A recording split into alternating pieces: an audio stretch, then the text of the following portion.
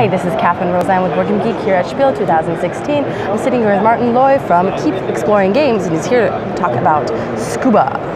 So, tell me about this game. Yeah, well, Looks like we're diving deep in the ocean.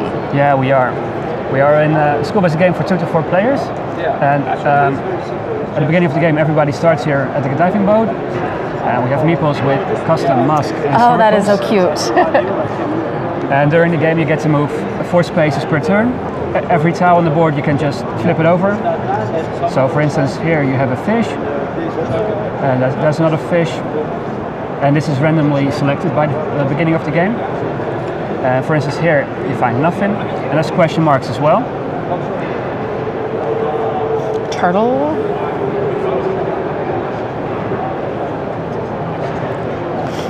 And there's also more tiles in the game than on the board, so you never know what to find. And there's a question mark. So for a question mark, let's just say, um, oh, for instance, this one. That's a nice one.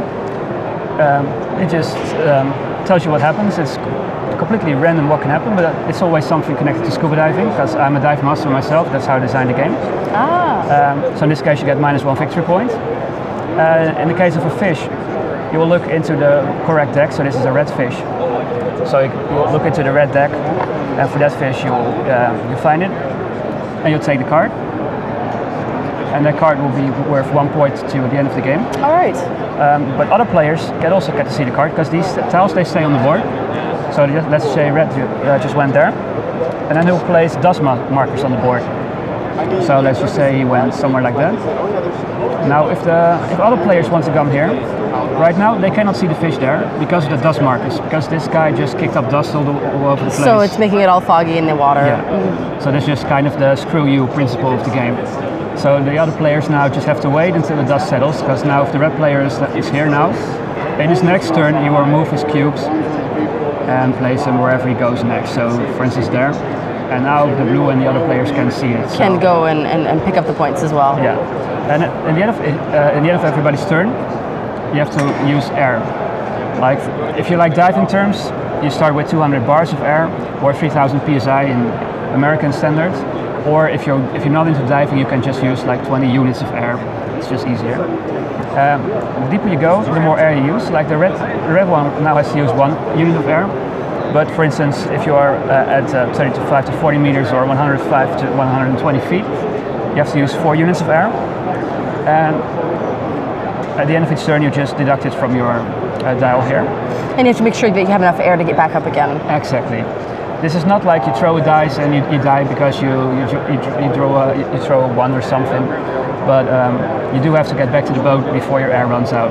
Does that anything happen if you don't manage to do that? Do you get Yeah. penalty points or do Well, you? you just drown and you, You just lose the game. drown. so technically, there's player elim- elimination in this game, but only if you just plan wrong. Because you can always look in the board and you see how much air everything costs. So it's it's not random. How many rounds is the game over? Game That also over? depends on the players, because you have 20 units of air. So a player could say, I'm, I'm going to just stay here for 20 turns, or I'm going to go really deep, and then he, he only has air for like six, seven turns. So players can just decide that for their own, really. And then each turn is four moves, and uh, Yeah, and uh, also a current card. Um, there's different current cards in the deck. which may drift you in a certain direction. Is that? Yeah, so for instance, this card here, it just says that all red fishes do not move, the yellow ones move to, to the side, which is also a tricky part. For instance, uh, let, me, let me find a yellow fish here.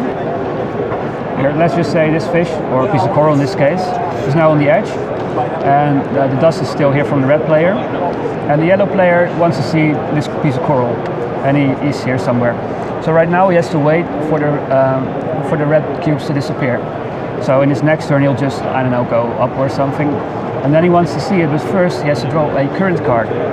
Let's say it's this current card here um, that says, "Oh, yellow fish, move one to the right." So in that case, this piece of coral moves off the board and goes back into the box. And so we won't have a chance to see it. Yeah, So pieces will be disappearing off of the board as, the, as the game goes along. yeah. By the end of the game, it's pretty much an empty board, more or less. Not not entirely. There, there- there's never enough time for people to, say, to see everything. And uh, one reason why somebody really wants to see that piece of coral is because of the set collection element in the game. All right. So this uh, branching vase sponge here has connections with um, two other pieces of coral, which are if you're able to get the other pieces as well, then you will get bonus points for a set. Yeah, exactly. Yeah, there's different sets with three and with two, and um, if you collect a complete complete set, you get bonus points. So that's why some people really want to see that piece of coral. Specifically, Sue. Yeah, and if you're playing like with families, people just enjoy themselves and they, they don't um, care about the dust, dust too much.